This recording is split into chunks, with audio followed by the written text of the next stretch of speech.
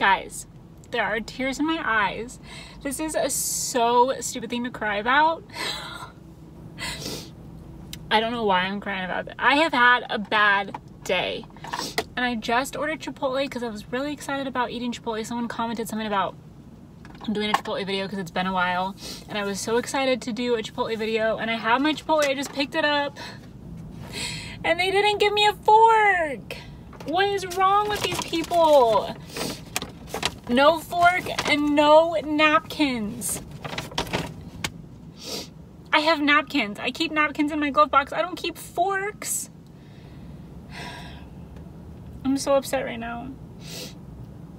I want to eat my Chipotle and I can't because I don't have a fork. I don't know what I'm gonna do. Okay, I fully recognize that that was ridiculous and a little bit dramatic. I'll admit to that, 100%, absolutely. We need to break up these curls, what's going on here? Okay, that's better. Um, I love Ashley. If you guys haven't checked out our channel, it's called The Snack Collective, I'll link it below.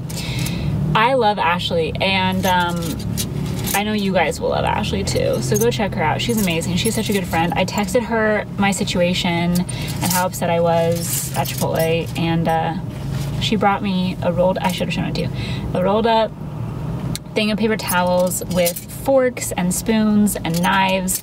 So I will never again not be prepared for a video. Those are very squeaky, so I'm gonna set them over there. So she's amazing. She saved the day. I was so over it. I was just ready to go back to work. I was so mad. And while dramatic, when you're already having a bad day, a little thing like a missed fork in your Chipotle bowl turns into a big thing. You know what I mean? So here's my Chipotle. You guys know by now that my Chipotle is not exciting.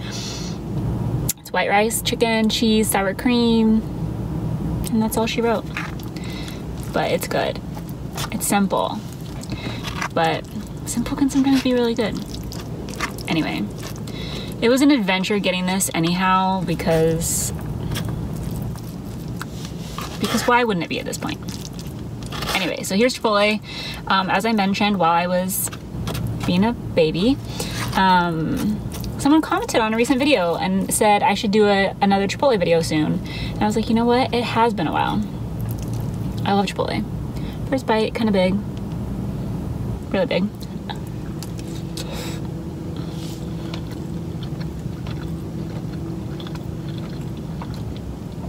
So good.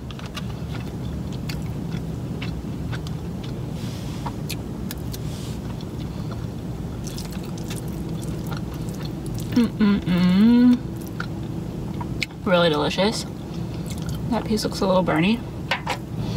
Um, anyway. Back in town. Back to real life. Um,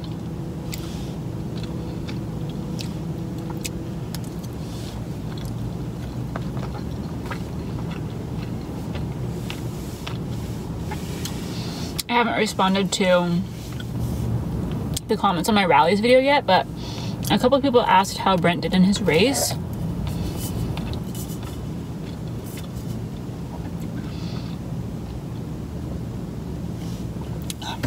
He did really well. This was his third race. Um, I didn't realize how big of a deal this one was until afterwards. Um, he's competed in other like local or regional like midwestern enduro races. But this was his first national level race. Like there were guys that raced the pro circuit there. There are people from all over the country. There are people from all over the world. There are people from australia um, sweden he said. Anyway it was a really big deal and i had no idea. Uh,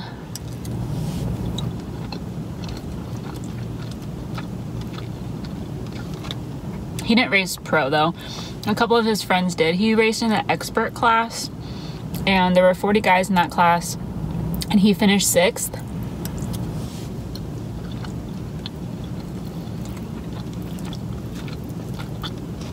Which he's disappointed in, but six out of 40 feels pretty good, especially in that big of a race.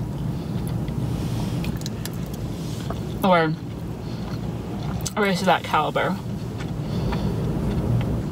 Apparently, the um, trails were very intense though, and just like really rough and really rocky, and it had been raining, so they were really muddy and kind of dangerous. And he said a lot of guys ended up getting carted off in ambulances.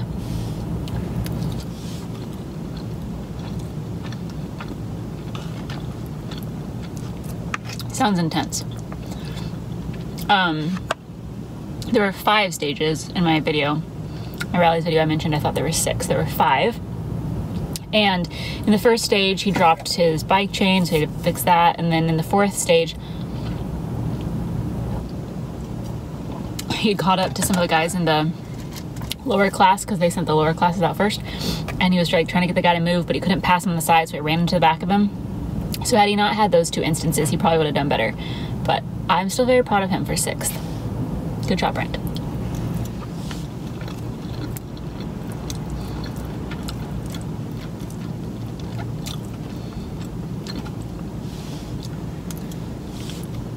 Mm.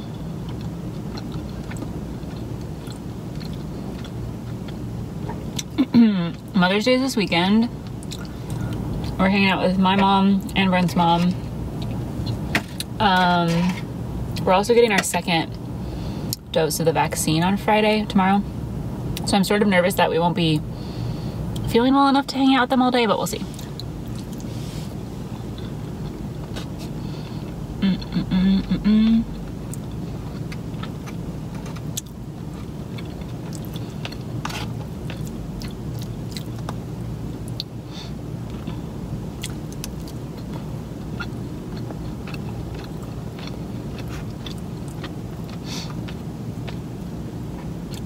I told you guys a few videos ago, I've mentioned a couple times, I've been very into reading books lately. And I always post after I finished, uh, after I can't talk, finish a book. I usually post a picture of it on my Instagram story, like what I thought of it. Um, but I've gotten a lot of messages from people asking me, I say a lot, it's been like three or four, um, to like start a separate book Instagram. Bookstagram. Apparently that's a thing. Bookstagram. It's a whole community. I had no idea. So I started a Bookstagram account and I'm very excited about it actually. I'm excited to have a place to put all my book reviews and stuff.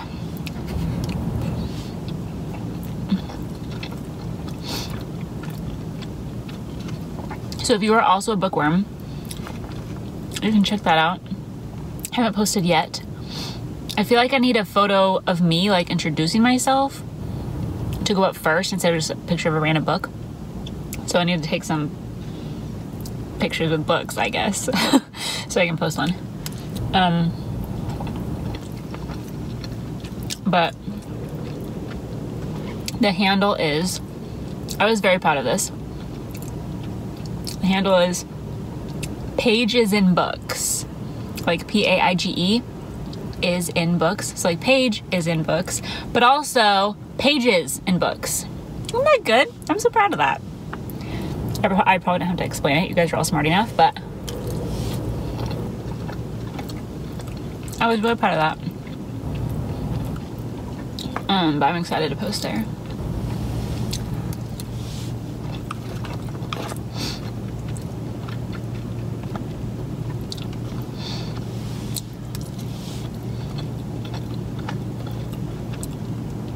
I was only planning on eating half of this, but I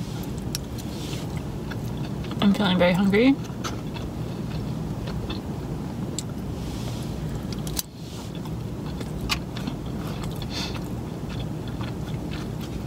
How are you guys doing?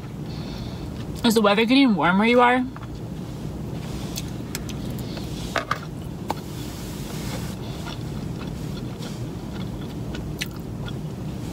I can't believe it's May and that summer is almost here. That's insane to me.